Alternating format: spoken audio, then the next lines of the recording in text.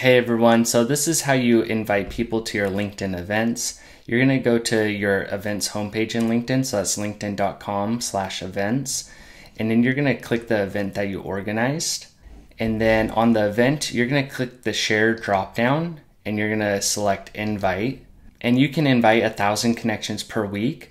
The fastest way to invite uh, members in bulk is to use the filters at the top. So there's locations, current company, school, and industry. So if I want to select everyone in bulk, I'm going to just select United States here as an example. So once you use one of the filters, it gives you this uh, select all option, but you still need to scroll down and load all the connections here.